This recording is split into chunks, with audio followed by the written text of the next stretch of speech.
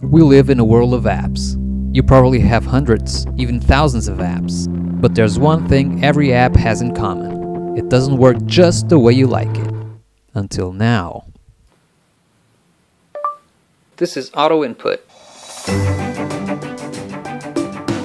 It clicked a button to create this list. Now it's writing some text. Want to see what else it can do?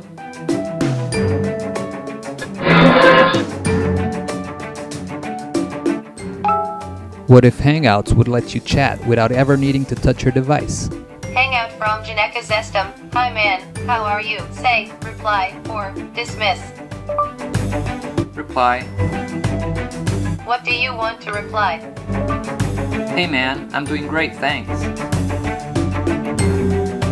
Reply complete. Okay, Google. Send route info to my wife. Wouldn't it be awesome if Google Maps would easily let your loved ones know how long it will take you to get home? Sending info 1740 kilometers 537 AM ADA. Wouldn't it be handy if YouTube had a shortcut to directly open your subscriptions and start casting to your Chromecast?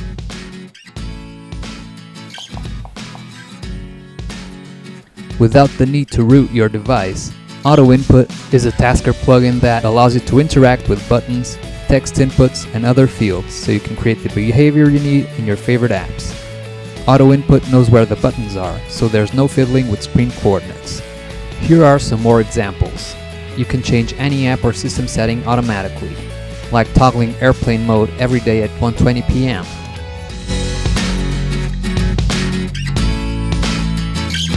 You can copy and paste some text directly from your PC to your device. How about recording the last minute of gameplay on your Xbox One with your Pebble? You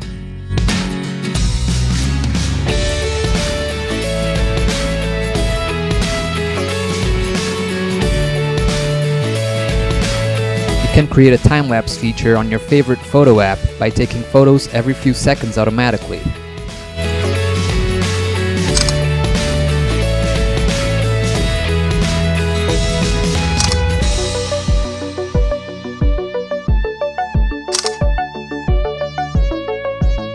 You can do a thumbs up on your currently playing radio station in Spotify.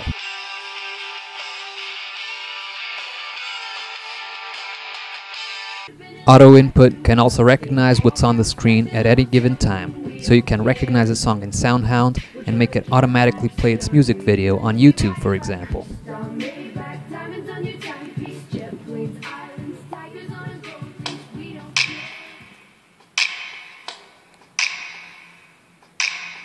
You can enable a special gestures mode where swiping up can start playing music. Swiping right can skip the currently playing song. And swiping down can open Google Maps navigation to home, for example. You can even do more elaborate gestures like down then right to open the clock app.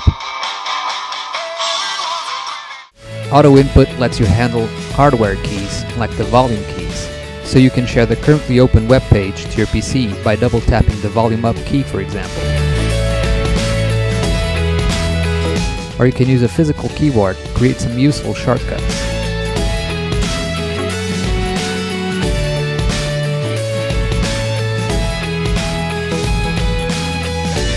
From now on, when you ask yourself, can I automate this app with Tasker? The answer is, you probably can with Auto Input.